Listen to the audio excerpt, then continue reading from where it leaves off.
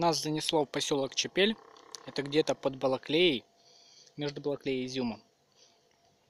Изучаем местные достопримечательности. В общем, несколько магазинов тут довольно неплохих, кстати, обнаружилось.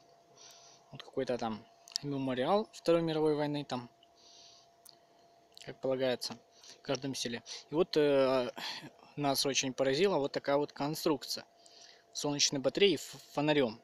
Я не знаю, какой идиот поставил солнечную батарею э, в тени деревьев. Тут реально полдня как минимум тень. Это же не то, что у него высшего образования нет. Тут даже низшего э, не наблюдается. Это вообще идиотизм. Ну и тут еще есть, сюда, наверное, не видно, а памятник вот за деревьями как раз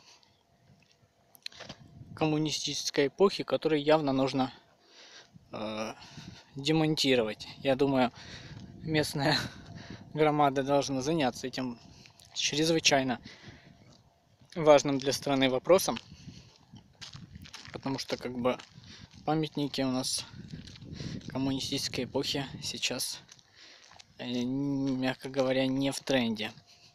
А Алексей Иванович пошел вот в магазин соседний э, искать кока-колку, потому что без кока-колки ему жизнь не мила. А вот, собственно, тот памятник коммунистической эпохи, который тут в ряды года еще сохранился. Кстати, два дня, ой, блин, два раза в сутки тут таки ходит какой-то транспорт. 7 часов утра и в 2 часа дня. Больше отсюда вы никак не выберетесь. В общем, конечно, село довольно-таки зачухонькое, много разваленных брошенных зданий. Ну, как-то люди живут, поживают. Вот, а мы сейчас вот отправимся э, на Меловую скалу. Это где-то еще, наверное, час пути нам предстоит пройти. 40 минут это для тех, кто лосит.